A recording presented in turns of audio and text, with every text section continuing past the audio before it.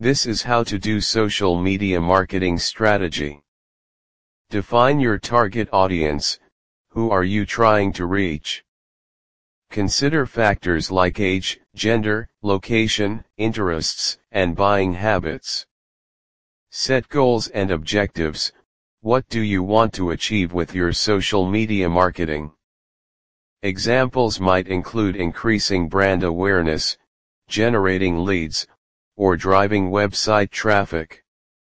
Choose the right social media platforms, based on your target audience and goals, select the social media channels that will be most effective for your brand.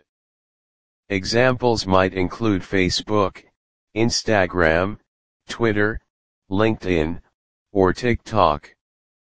Develop a content strategy, determine what types of content you'll be sharing on each platform, as well as how often you'll post and the tone and voice you'll use.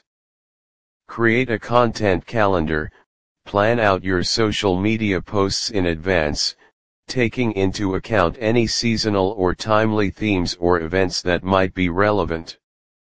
Leverage paid advertising, consider using social media advertising to amplify your reach and target specific audience segments. Monitor and measure your results, use analytics tools to track your performance, including metrics like engagement rates, follower growth, and website traffic. Adjust and refine your strategy, use your data insights to make informed decisions about how to optimize your social media marketing strategy over time. Remember, social media marketing is an ongoing process, so it's important to regularly assess and adjust your approach based on what's working and what's not. Good luck.